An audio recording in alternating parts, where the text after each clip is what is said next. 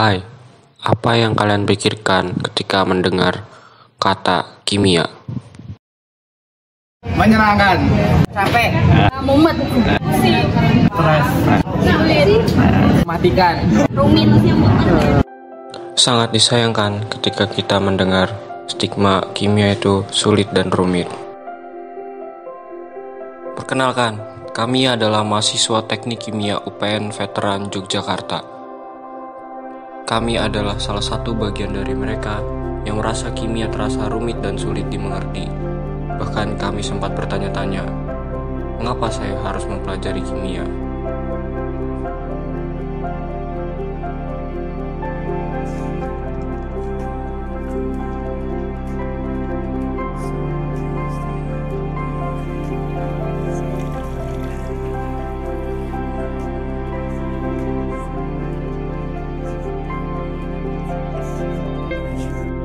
Segalanya berubah. Kami menemukan semangat baru dalam mempelajari kimia dan ingin merubah stigma mengenai kimia yang terasa rumit dan sulit. Dengan kami menyadari bahwa kimia adalah inti dari segala hal di dunia ini, perubahan ini bisa terjadi dimulai dari kami yang memutuskan untuk mengubah penampilan dan menginspirasi. Karena kamilah generasi yang akan membawa perubahan melalui kimia dan kami siap menghadapinya. Inilah kisah inspiratif bagaimana semangat dan komitmen bisa mengubah kekurangan minat menjadi hasrat mendalam untuk belajar kimia. Dan di sinilah kami ingin membawa kalian dalam perjalanan singkat ke dunia yang menakjubkan dari kimia melalui sebuah mini eksperimen yang akan kami buat.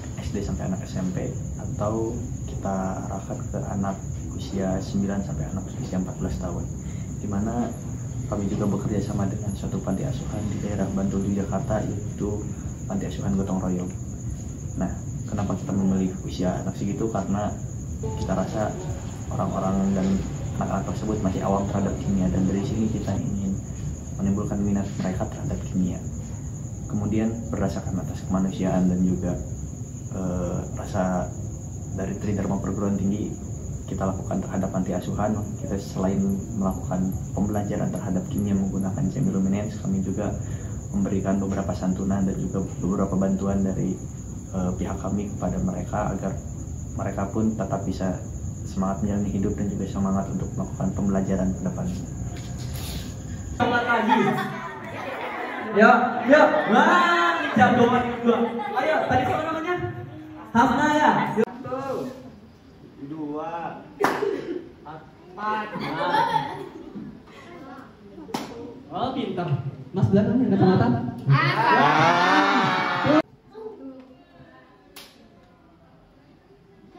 Oke.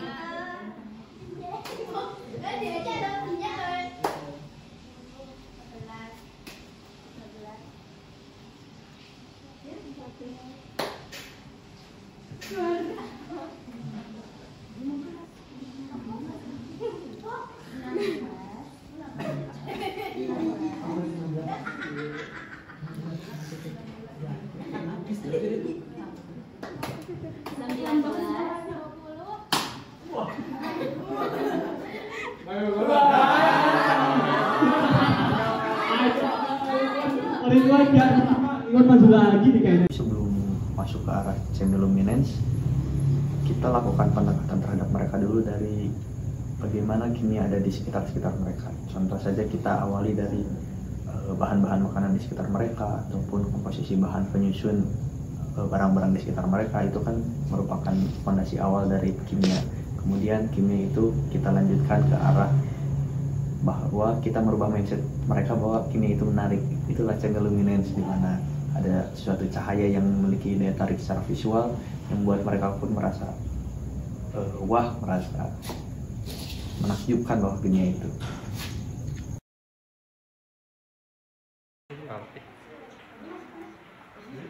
Ini bisa nyala, percaya nggak? Ya, ini tuh kan bukan lampu kan? Ya. Sabar, sabar, sabar, ya, ya, ya. Sabar. Mas. Sabar. Sabar. Nah, awas, awas, awas. Mas, aku mau mas. Ini lebih. Oren. Ini coba yang merah gimana?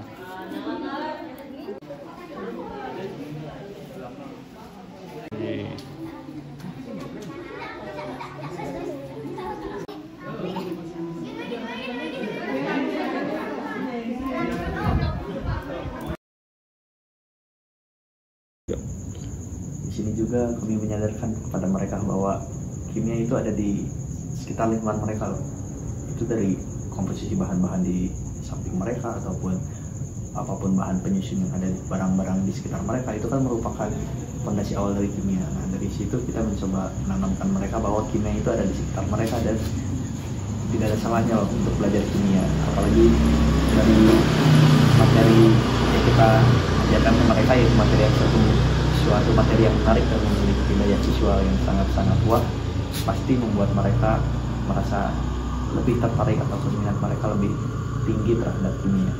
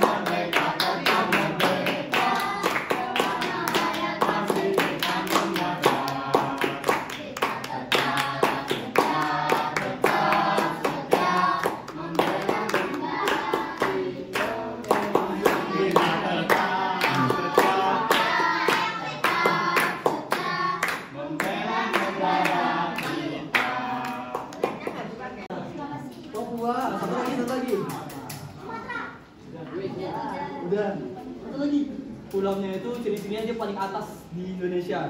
Kalau kamu pernah lihat tak dia namanya siapa? Cakra umurnya berapa? 11. Ridwan umurnya berapa? Nih.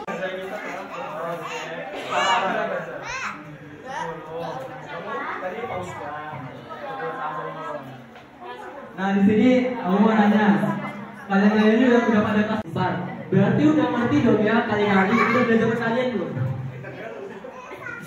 Udah, udah hafal kalian belum? Nah, kalau kita main games perkalian berani nggak? Aku aku tes kali kalinya. Hafal perkalian tiga. Mau apa nggak? Tiga tiga kali tiga. Wah, katanya udah hafal. Tiga kali.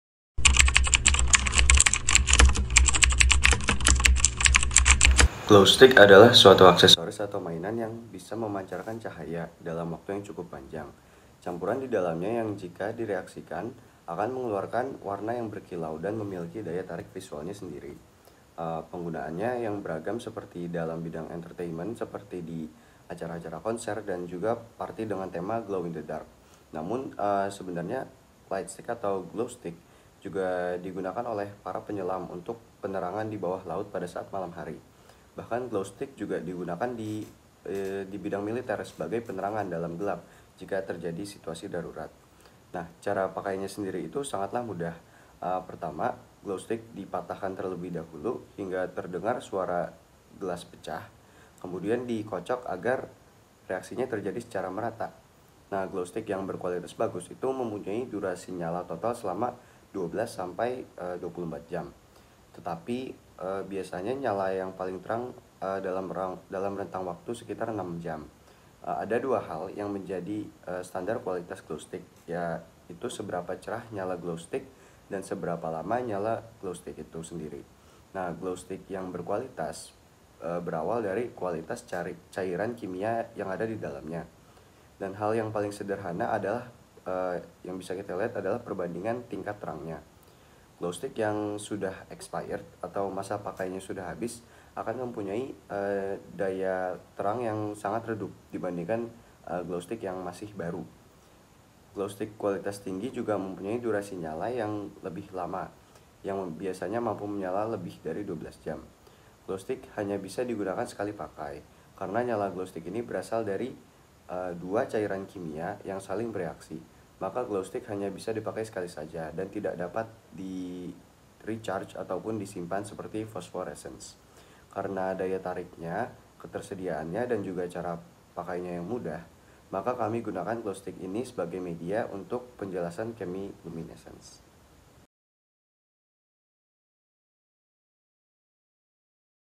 Ada yang tahu nggak ini tadi namanya yang udah jelasin sebelumnya? Ada tahu nggak namanya apa?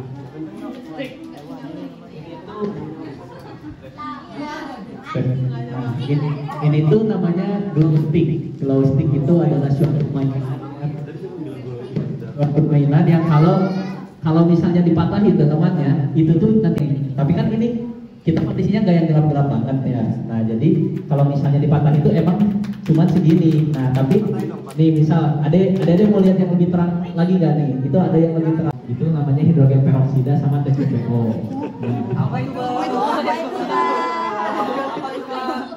Tapi mungkin buat adik-adik ini awalnya, tapi mungkin malah aku pikir kalau adik-adik tuh merasa ini menarik, adik-adik tuh bakal suka sama pelajaran-pelajaran di SMP, di SMA yang adik-adik sulit itu. Kalau dari sekarang adik-adik mulai tahu di mana di mana hal yang menariknya, nah itu tuh adik-adik bisa semakin suka sama pelajaran ini.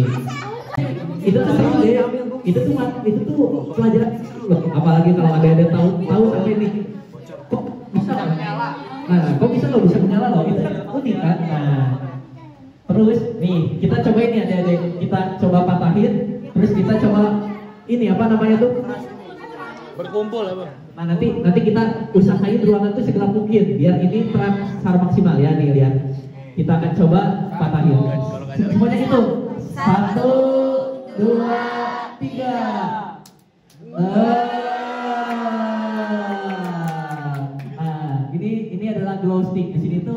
adalah suatu yang paling menarik dari kimia.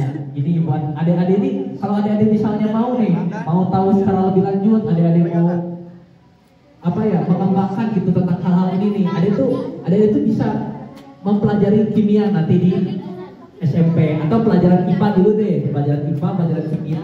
Adik-adik harus tahu nih. Coba itunya lihat tuh, bisa di Nah, bu- kasih kasih kayak samping tuh.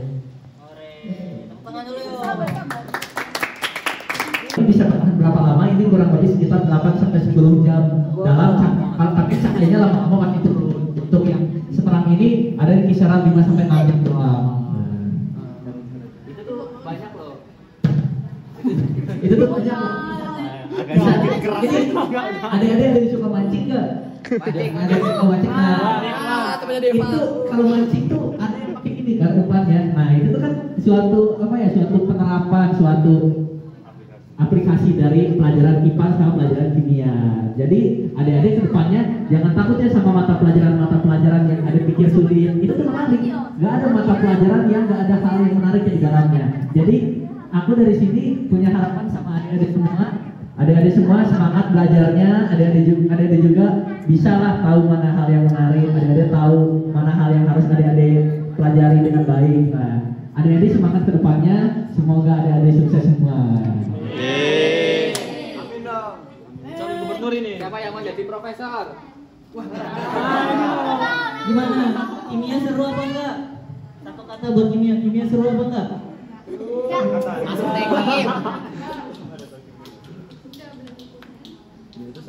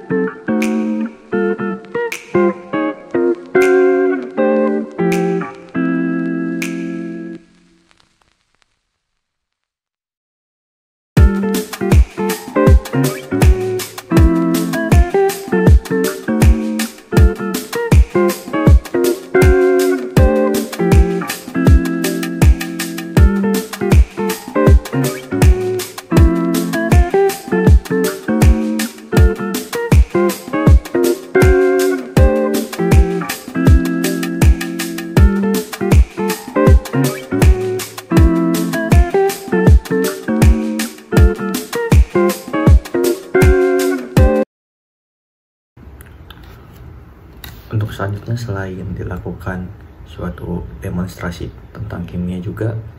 Dalam penerapannya kita melakukan suatu eksperimen terhadap glosik ini tersendiri yaitu kita melakukan dua macam eksperimen yang kita lakukan. Yaitu yang pertama kita melakukan metode perhitungan menggunakan metode model CLAB atau yang kita tahu kalau metode CLAB itu adalah metode untuk menentukan eh, keterangan warna dan juga warna yang dihasilkan dari suatu eh, produk yang kita ukur. Nah, pada metode CLAB ini ada lima macam eh, variabel yang akan kita ukur. Yang pertama, nilai LAB-nya itu tersendiri di mana L itu merupakan likeness atau keterangan, A itu merupakan rasio antara merah ataupun hijau, kemudian B itu rasio antara kuning ataupun biru dan juga ada dua macam yang lainnya yaitu kroma dan juga eh, nilai HUE. Nah, kemudian selanjutnya nanti akan dihitung eh, delta E-nya atau perubahan warna yang dapat kita hasilkan. Nah, metode CELB ini akan menghasilkan nilai delta E di mana delta E ini merupakan perubahan warna yang dapat di dapat dilihat atau dapat secara visual oleh manusia itu dapat dilihat. Sehingga metode ini dirasa cocok untuk kita lakukan pada glow ini di mana kita bisa mengetahui apakah glow ini sangat-sangat bisa ditangkap oleh cahaya manusia dalam keadaan gelap. Nah, kemudian metode selanjutnya pengukuran yang kita lakukan adalah mengukur kinetika dari glow stick itu tersendiri di mana yang kita, akan melakukan pengetesan apakah kinetika yang dilakukan adalah order 0, apakah order 1 ataupun order kombinasi ataupun order 2. Itu nanti akan dilakukan uh, suatu kinetika terhadap waktu yang kita lakukan. Nah, reaksi yang dilakukan atau yang terjadi pada glow stick ini cenderung sangat cepat sehingga kinetika yang akan kita uh, buat grafiknya kinetika yang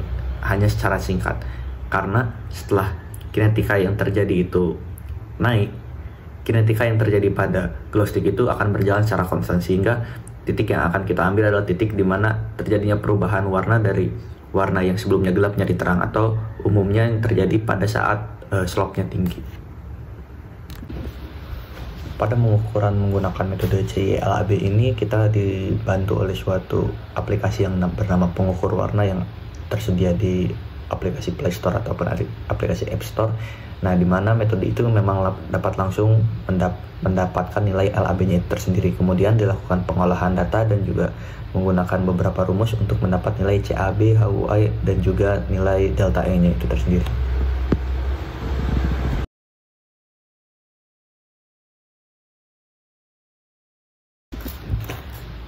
Kemudian untuk penjelasan dari metode CILAB di mana didapatkan nilai LAB itu setelah kita lakukan pengolahan data. Nah, kemudian dapat terlihat bahwa dalam reaksi glow stick di mana glow stick yang kita gunakan adalah glow stick berwarna kuning yang kita dapatkan dari toko komersial di mana nilai L-nya itu sangat meningkat secara cepat. Ini berarti menandakan bahwa laju e, reaksi dari sebelumnya gelap menjadi terang itu bergerak secara cepat. Nah, kemudian untuk nilai A-nya itu tersendiri di mana A itu jika A-nya itu positif berarti dia menandakan bahwa warna yang dihasilkan itu merah, kemudian jika A-nya itu negatif maka warna yang dihasilkan adalah warna hijau. Nah, kemudian pada reaksi ini didapat nilai A-nya itu adalah A yang cenderung ke arah negatif ada di kisaran dari min 14 sampai minus 55. Ini berarti menandakan warna itu cenderung rasionya bergerak ke arah hijau dibanding ke warna merah. Nah, kemudian juga didapat juga nilai B-nya di mana nilai B ini adalah rasio dari warna biru terhadap warna kuning. Nah, karena kita menggunakan glow stick yang memang awalnya berwarna kuning, maka nilai B yang dihasilkan juga cenderung bergerak ke arah positif di mana jika positif berarti warna yang dihasilkan berwarna kuning. Nah, warna kuning itu tersendiri kita dapat di rata-rata konstan itu ada di kisaran range 80 angka 80 sehingga memang rasio antara biru dan kuning ini tinggi untuk di warna kuningnya itu tersendiri. Secara kasat mata nilai delta E itu jika nilai delta E-nya yang dihasilkan itu antara range 0 sampai range 1 itu berarti menandakan bahwa perubahan warna yang terjadi itu sulit untuk dilihat secara visual oleh mata manusia. Nah, kemudian jika nilai nilai delta E-nya itu ada di antara angka 1 sampai angka 2. Nah, itu berarti menandakan bahwa perubahan warna yang terjadi pada reaksi ini masih bisa dilihat oleh mata manusia secara visual, namun sangat masih sangat sulit. Nah, tapi jika nilai delta E-nya itu sudah lebih besar daripada 3, nah maka secara visual itu sudah dapat disaksikan jelas oleh mata manusia itu tersendiri. Nah, kemudian dari data yang kita dapatkan nilai delta E pada reaksi glow stick ini kita dapatkan bahwa pada titik tertingginya itu ada pada nilai 123. Nah, maka pada nilai 123 ini sudah secara jelas dapat disaksikan oleh mata manusia dan juga sudah terlihat perbedaan yang signifikan antara titik awal pengukuran sampai titik di mana sudah terjadinya kekonstanan pengukuran. Nah, pada reaksi ini pun pergerakan dari titik 0 sampai titik ke 123 itu berjalan sangat cepat di mana hanya hanya reaksi dalam di bawah 0,5 detik ini berarti terjadinya pergerakan yang sangat cepat. Bahkan di detik ke 0,1 dan 0,2 itu sudah terjadi ada di titik 20 30 nah ini berarti menandakan bahwa selain reaksinya cepat terjadi reaksi yang terjadi pun sangatlah uh, kontras dibanding uh, reaksi uh, warna pada di awalnya. Sehingga dapat disimpulkan bahwa reaksi yang terjadi pada glow stick ini saat kita lakukan pada keadaan gelap itu sangat terlihat secara visual oleh mata manusia dan itu pun dapat bertahan secara lama.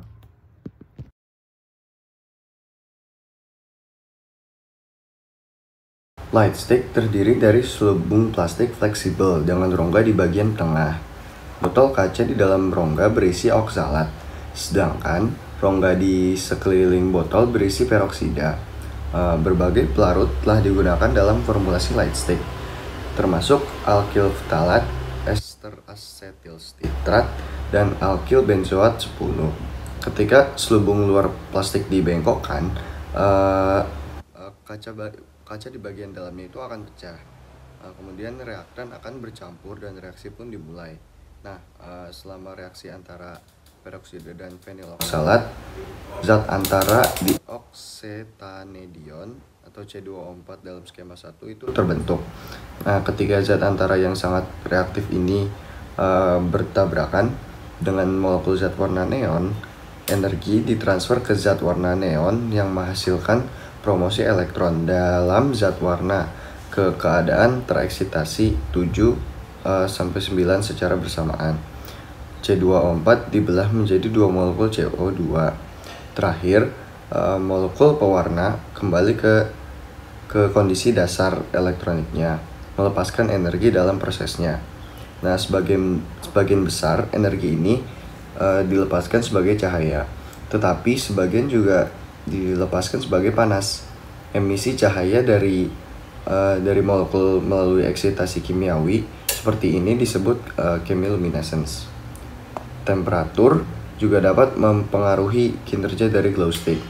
Suhu yang rendah atau dingin seperti disimpan dalam kulkas ketika nyala akan melambatkan proses reaksi kimia sehingga nyala glow stick berkurang tetapi durasi lama glow stick akan bertambah dan apabila eh, di suhu tinggi maka glow stick akan eh, menyala lebih terang dan durasinya eh, dan durasi menyalanya akan berkurang jika glow stick sudah bereaksi maka tidak bisa dihentikan lagi sampai masa reaksi kimia tersebut selesai.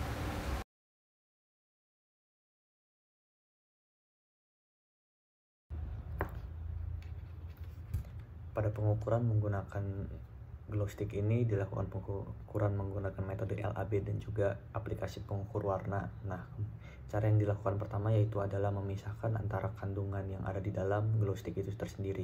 Yang pertama ada kandungan kacanya itu di mana kandungan kaca itu berisi pewarna dan juga di luarnya itu terdapat hidrogen peroksida. Nah, jadi glow stick itu dipisahkan dengan cara dipotong kemudian diambil uh, hidrogen peroksidanya dipindahkan ke dalam gelas dan juga kacanya pun dipecahkan dalam gelas yang berbeda dan uh, kandungan warnanya dipisahkan dalam gelas yang berbeda. Nah, kemudian disusun suatu tempat di mana tempat itu dalam posisi yang gelap dan ada kamera ataupun uh, alat perekam yang memiliki tripod di bawahnya agar arah kamera itu tetap karena jika arah kamera itu berubah maka perekaman nilai LAB yang dilakukan itu tidak akan berjalan dengan optimal.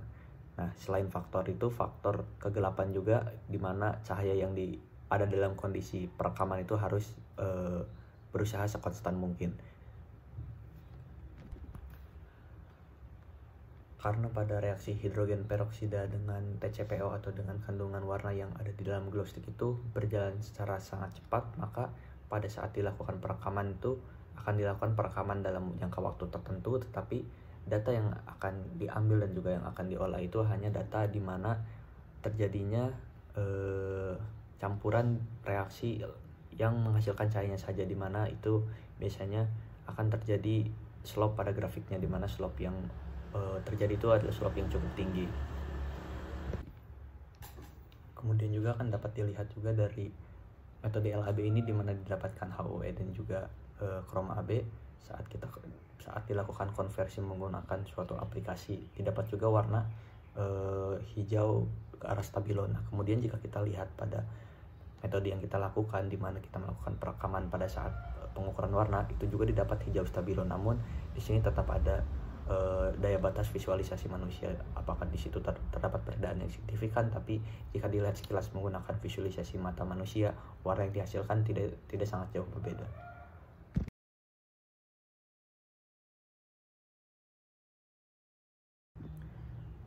Kemudian setelah selanjutnya tadi didapatkan bahwa model kinetika yang paling cocok adalah model kinetika order 0 maka akan dilanjutkan kepada tahap selanjutnya di mana kita akan mencoba e, menghitung dan juga mengkaji nilai K yang terjadi. Nah, pada yang pertama yaitu adalah regresi linear di mana regresi linear yang pertama ya untuk nilai L adalah 0,82 dan juga untuk pada nilai A 0,81 dan juga untuk nilai B yaitu 0,85. Di sini ada beberapa alasan yang mungkin bisa menyebabkan terjadinya uh, regresi linear ini tidak mencapai nilai yang lebih mendekati satu. Mungkin adalah yang pertama adalah masih adanya cahaya masuk ke arah reaksi, kemudian yang kedua keterbatasan pada gadget ataupun pada uh, dawai rekaman, ataupun yang juga yang ketiga adalah kamera yang direkam atau arah kamera yang ditujukan itu masih agak bergerak-gerak. Nah, Sementara itu, dapat juga setelah dari perhitungan kinetika ini dapatkan nilai konstanta bagi tiap masing-masing variabel baik itu variabel L, variabel A dan juga variabel B. Yang pertama itu untuk variabel L di mana variabel L di sini mendapatkan konstanta laju sebesar 268,16 dan juga pada nilai L di sini didapatkan angka nilai L pada metode LAB sebelumnya itu 81,97 atau mendekati 82. Nah, berarti ini menandakan bahwa nilai L yang didapat pada reaksi ini nilai L itu cenderung ke arah positif ataupun tidak mendekati 0. Jika nilai L ini semakin besar bahwa maka reaksi yang dihasilkan ini menghasilkan cahaya atau lebih menuju ke arah warna putih dibandingkan ke warna hitam ataupun ke warna gelap. Dan juga konstanta laju yang didapatkan itu 268,16 berarti menandakan reaksi ini berjalan cukup cepat. Kemudian untuk e, variabel yang selanjutnya di mana didapatkan nilai A sebesar konstanta lajunya negatif 188,25 dan juga nilai A di sini di mana nilai A pada titik terakhir yang kita gunakan yaitu adalah negatif 52,63. Pada nilai A di sini didapatkan nilai negatif. Berarti nilai A yang kita dapatkan ini atau reaksi yang terjadi pada glow stick ini menuju ke arah hijau bukan ke warna merah. Karena nilai A sudah di sudah disebutkan pada di awal video tadi bahwa nilai A ini jika bergerak ke sumbu positif berarti reaksi yang terjadi itu bergerak ke sumbu atau ke warna merah. Sementara jika nilai A ini mendekati negatif atau ke arah negatif maka reaksi yang terjadi itu bergerak ke warna hijau.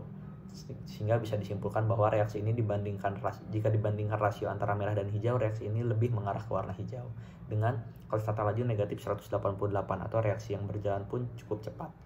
Kemudian yang terakhir adalah pada nilai B. Nilai B di sini mendapatkan konstanta lajunya sebesar 274,42 atau di sini konstanta lajunya yang terbesar dibandingkan konstanta laju yang telah disebutkan pada sebelumnya.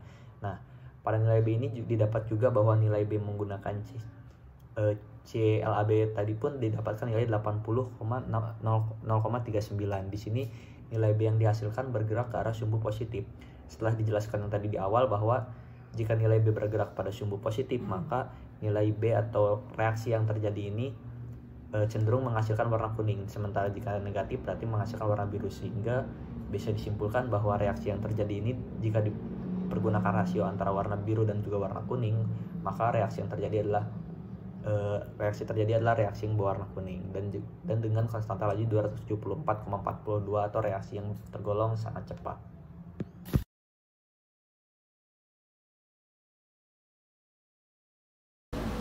Dari hasil survei yang dilakukan terhadap subjek, terutama anak-anak yang telah menerima pembelajaran dengan pendekatan praktis, yaitu dengan membagikan glow stick kepada setiap anak dan melakukan demonstrasi uh, langsung e, cara penggunaan beserta penjelasan ilmiahnya dapat disimpulkan bahwa e, ketertarikan terhadap kimia, khususnya chemiluminescence sangatlah tinggi. Anak-anak menunjukkan e, antusiasme yang tinggi karena glow stick menawarkan berbagai warna yang e, menarik dan kemampuan untuk bersinar dalam kondisi gelap. Selain itu, glow stick juga dapat dijadikan sebagai alat bermain yang kreatif bagi mereka pendekatan interaktif ini tidak hanya membangkitkan minat uh, minat mereka terhadap kimia, tetapi juga memungkinkan uh, mereka untuk uh, merasakan langsung keajaiban ilmiah dengan cara yang menyenangkan ini.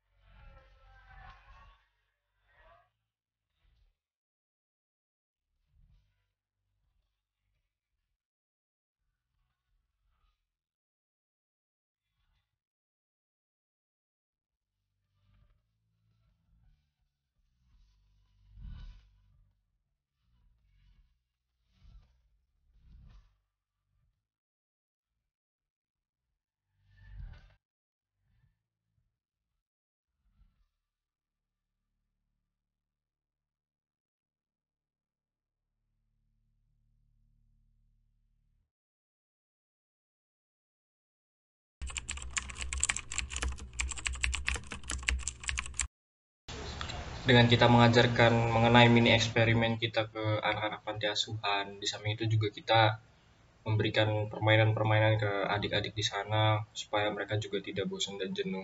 Ya hasilnya cukup sangat luar biasa di mana antusias dari adik-adik kecil di sana tuh cukup antusias ketika kita uh, datang dan memberikan pelajaran mengenai kimia itu seperti apa ya meskipun mereka menganggap awam ya maksudnya tidak begitu paham mengenai kimia itu seperti apa.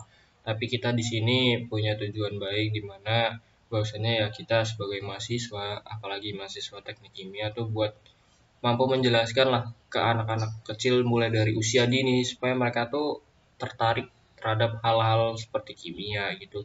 Yang di mana makin ke depan kehidupan sehari-hari kan sangat dekat juga dengan kimia kita membawakan hal-hal sederhana mulai dari glow stick yaitu juga salah satu mini eksperimen yang kita punya buat uh, kita menjelaskan ke mereka bahwasannya kimia itu tidak melulu soal hal-hal yang bikin pusing atau abstrak tapi juga hal-hal menarik di mana kita bisa bereksperimen mulai dari cahaya-cahaya yang ada gitu loh.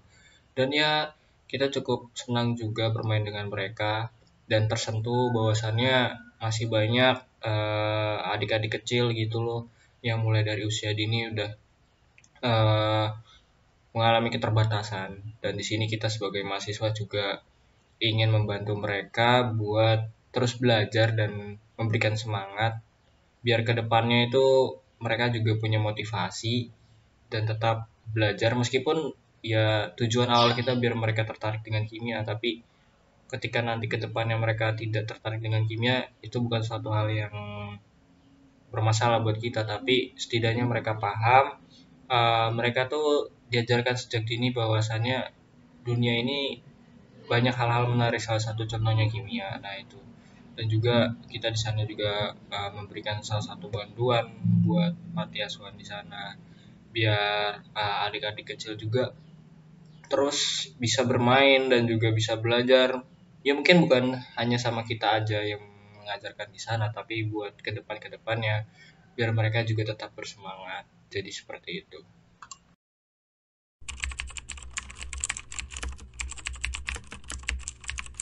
Ya memang tidak mudah uh, kita sebagai mahasiswa di era globalisasi ini di mana udah masuk era digital tapi kita juga masih punya tanggung jawab di mana masih banyak yang tertinggal uh, mungkin adik-adik kita yang mungkin keterbatasan. Maka dari situ tidak mudah buat kita buat melawan hal itu dan buat menghilangkan hal itu. Kami di sini bergerak buat terus mengajarkan melalui mini eksperimen dan juga media pengabdian sosial kita gitu terhadap panti asuhan untuk mengajarkan. Di mana salah satu bentuk metode uh, mini eksperimen kita adalah untuk uh, learning studentnya. Di mana kita uh, mengajar mempelajari uh, kepada adik-adik buat paham terhadap kimia itu sendiri. Dan gak cuman kimia uh, aku juga menitipkan pesan buat uh, mungkin teman-teman yang menonton video ini buat terus mengabdi kepada lingkungan sekitar. Jangan menutup mata jangan tutup telinga bahwasannya banyak uh, yang membutuhkan kita gitu sebagai mahasiswa buat uh, mengulurkan tangan kita buat membantu mereka gitu loh. Dan bukan hanya cuman soal pengabdian masyarakat kita terhadap mereka tapi juga mengenai pola pikir kita yang di mana kita juga harus cerdas di lingkungan kita yang ada di sini gitu sekitar lah gitu. Ya mungkin itu biar kita semua juga bisa paham lah terhadap perkembangan buat ke depannya biar uh, Indonesia itu menjadi negara yang maju dari pemuda-pemudanya, dari mahasiswanya, dari usia dini yang udah mulai paham tentang apa pun yang ada di dunia ini. Gitu. Meskipun itu terkesan mustahil, tapi kita di sini juga berusaha biar semua itu dapat terlaksana.